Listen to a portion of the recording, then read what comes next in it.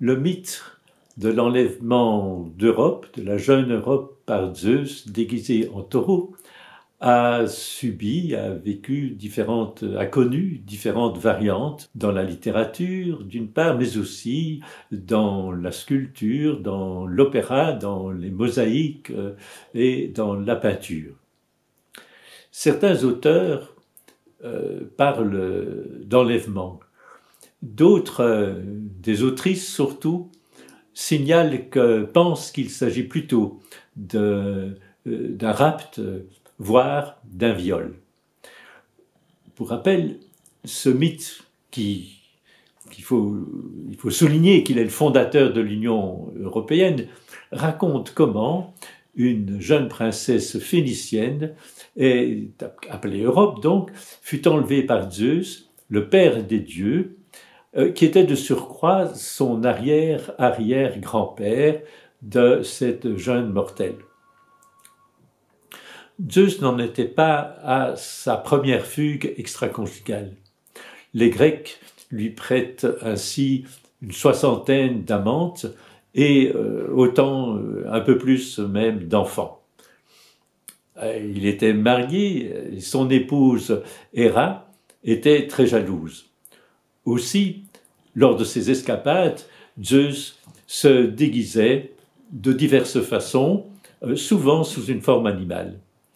Et en l'occurrence, pour séduire Europe, il s'est donc déguisé en taureau et euh, de plus lui a promis qu'un continent porterait son nom.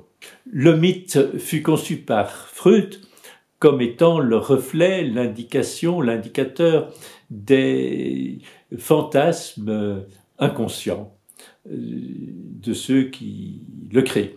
Par, d'autres, il fut conçu comme un engendreur de la subjectivité de ceux qui le fréquentaient. C'est pourquoi lorsque des, collègues spécialistes du mythe m'ont demandé ce qu'un psychanalyste pouvait en dire, je me suis posé la question suivante.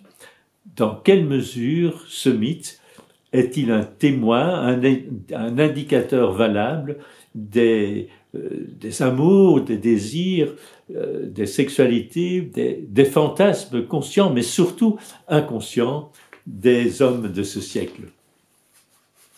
En m'appuyant sur ma clinique et sur mes nombreuses lectures, j'ai envisagé des thématiques aussi diverses que la séduction et le ravissement amoureux, mais aussi le rapt et le viol. Les amours, les désirs, les fantasmes inconscients de nos contemporains, le rapport complexe des hommes d'aujourd'hui à leurs fantasmes, aux jouissances, à la défloration euh, des vierges, à la soumission et à la domination dans le couple.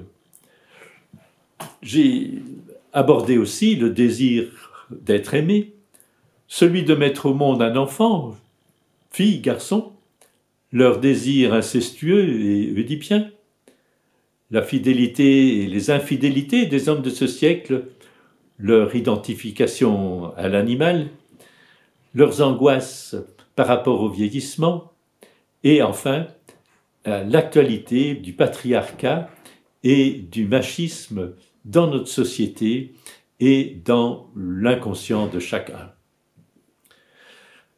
Ce livre n'est pas un ouvrage de psychanalyse pure.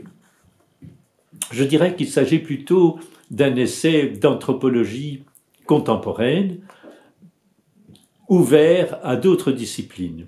En effet, tous les thèmes que je viens d'évoquer sont abordés non seulement à partir de la psychanalyse, de ses théories et de l'enseignement de sa clinique, mais aussi à partir des savoirs qui sont acquis par la psychologie clinique et par la psychosociologie.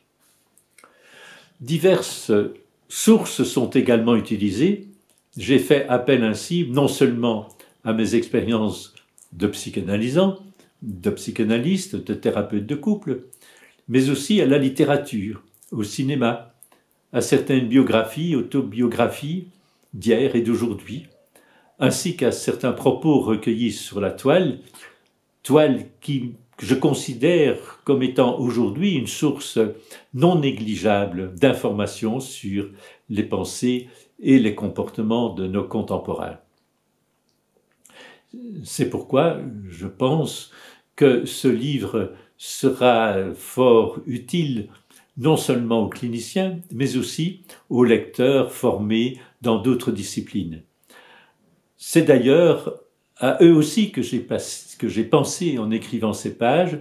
Ils trouveront, euh, ils trouveront en fin de volume un glossaire, un petit glossaire reprenant les quelques euh, concepts euh, plus spécifiques dont ils ils pourraient penser ne pas avoir une connaissance suffisante. voilà ce qui me semble essentiel de dire pour vous présenter ce livre pour vous donner l'envie de le lire et de le discuter. On m'a aussi demandé de me présenter dans cette petite euh, capsule vidéo. Euh, donc je suis psychanalyste, psychothérapeute euh, individuel et de couple, et je suis par ailleurs professeur émérite de psychopathologie du couple, de la famille et de la sexualité.